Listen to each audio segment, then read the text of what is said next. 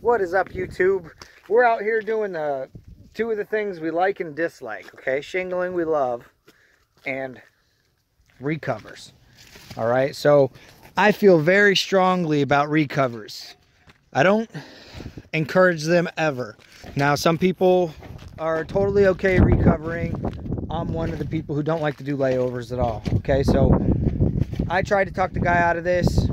He's selling the house. He just wants it to pass uh, an inspection. So they had a little problem area over here before. And uh, we tore up that little patch. It was literally just shingles stacked in a line up and down. So um, they all we also took uh, took off the ridge. That's one of the first things you want to do is you want to prep the roof deck for a recover. If you can't talk your homeowners out of it, and it's not to get more money from a tear off, it's it's because you know the roof isn't going to last nearly as long. The way I like to describe uh, two layers uh, versus one layer, right? So picture a pencil, okay? If you got a pencil, you got one pencil, you break it in half, now you got two pencils, right? But you didn't create any more lead. So it doesn't do you any good really, okay? Um, and then if you've, versus if you just had two pencils, it's gonna last a lot longer, all right? So that's kind of how I view this whole recover situation. And not to mention, it's going to cost a lot more for the next person when there's two layers because nobody likes to get into two layers. People really jack up their prices. A lot of times people jack them up even extra because they don't even want to do them, you know? But uh, so anyway, like I said, we're going to prep the roof deck. They had these two vents right here, and that was it. So we went ahead and we cut ridge vent. You can see they've got the insulation right in here, uh, which means these are vaulted ceilings. So those vents weren't doing much anyway. We went ahead and got ridge vent instead of uh, those turtle vents. They're pretty low anyway, and there was only two of them. So we cut, we're cutting new ridge vent in. And then uh, as far as the bottom section goes, this is one step that I feel a lot of people forget to do. I'll see people like laying new ice shield over and everything like that, which I don't, I don't think that makes any difference at all. If you just lay one row of ice shield here and start shingling, it's really not making a difference, especially if there's ice shield underneath here, which there is. See how this is stuck? That's ice shield, okay? So what I've done is I cut back the first, the first tab right there.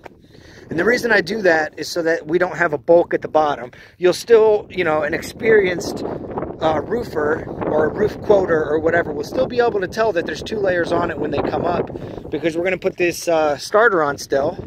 And we actually are in a rare situation where if you see the reason I cut this back here because we've got to put gutter apron on we're actually going to just cut this back and put it right on over it we'll just make sure we put our starter on at a nice stagger so what we're going to end up doing is, you see that's uh, way too much of an overhang. So we can now float this in here a little bit nicer now that we've cut that back off just a smidgen. So uh, rather than this thick part being all the way out there and then this part having trouble gripping in the future, we went ahead and cut that bottom row off. Some people like to cut even more off, which I may actually do here. Um, I may cut an extra row off that, I'll let you know.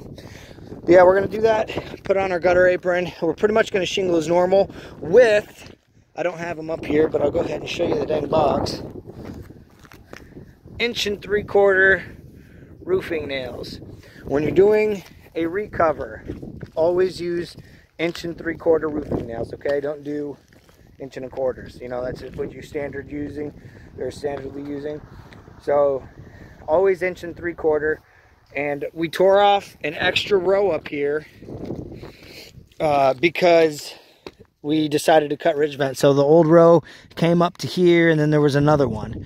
So we tore off one extra. Usually we just tear off the cap, but because we switched to ridge vent, we had to tear off an extra row here because inch and three quarter nails are gonna have trouble grabbing if there was extra extra uh, row there. So now we're going to have no issues at all with our uh, ridge vent grabbing. This one we actually have to change to a Broan vent, which you guys have already seen me do on some of the Heritage Quarter build uh, apartments that we've done. Those big buildings there. So there's a, we'll pull off this flashing here, install a Broan vent.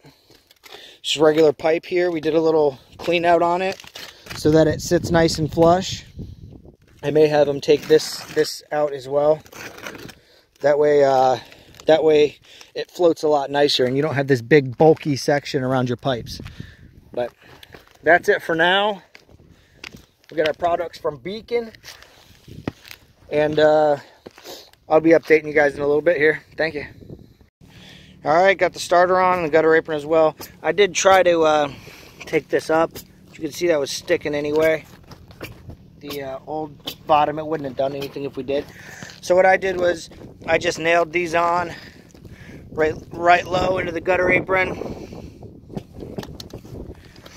And uh, my other nails, my top nails will go like this and the other shingle. So it'll be held in plenty of spots.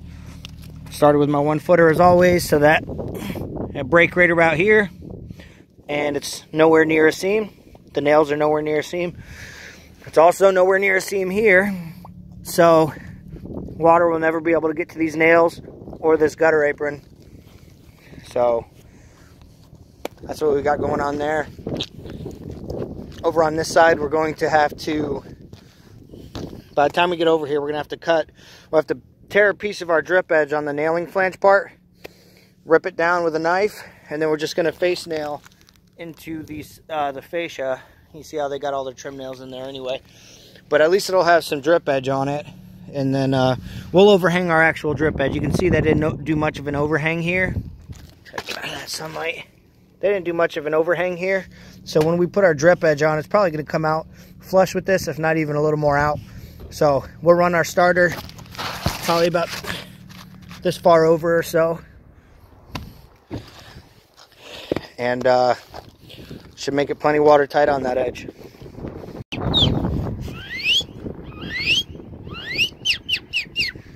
Always fun. Always fun when my little brother sees my truck and comes trashing up my job. Jesus. Uh, where? Oh, no, that's James's woman. Yeah, you better not be doing shit around homeowners, bro. What are you doing? Just get off work at the Flying J? No, I didn't get off work. I actually Oh, thought the, I worked what is it, the pilot? Oh, it is a Flying J. It is Flying J. Oh, yeah, representing. Call 75 an hour, more than I made with you. and I ain't even got to fucking tear my ass up, bro. There you go. A lot of room for growth, Worst too. part of my day is shoveling shit, but this is this job is shoveling shit all day for less money. Put his ass to work, though, real quick. Get them vents out, boy. I'm gonna go back to my little chicken bone in the corner, working on my drip edge. We're knifing it off. You can see I'm scoring it right down on that close line. Then we got to slide it under, but I'm actually able to nail that little bit onto the roof, so we we didn't have to add any face nails down inside of that drip there. 14 days, I'm done with my probation. Oh yeah. Yeah. Seen your picture, bro? What the mugshot where he looked like he was crying? bro. They beat the shit out of me. That's what happens when you run. No, that was when I was told to leave, and then I started fighting with the cops and attacking me. Okay, all right. Fair play to you, James.